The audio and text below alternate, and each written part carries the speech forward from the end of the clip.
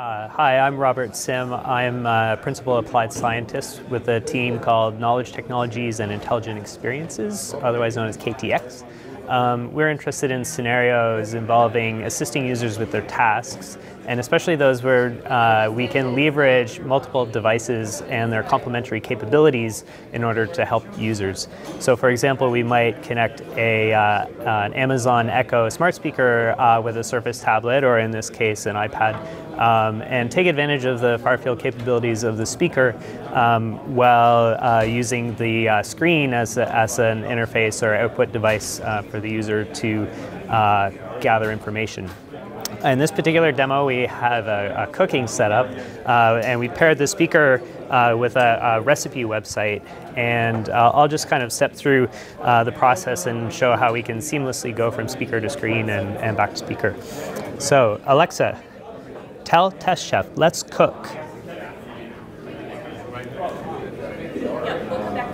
Okay, let's get started. Okay, so you can see that it transitions straight from, uh, she's going to be confused about what I'm saying right now, but um, it transitions from the, the kind of conventional web page to a, a larger immersive view that you can see from a distance. Cancel.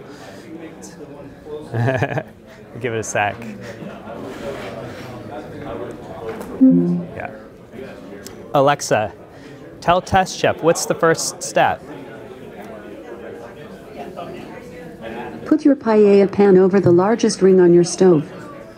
So you get the idea. The, the user can interact with the speaker and the, the uh, screen will respond accordingly. In addition, we have uh, uh, question answering models and things like that. So we can ask questions like, Alexa, ask Test Chef, how much rice do I need?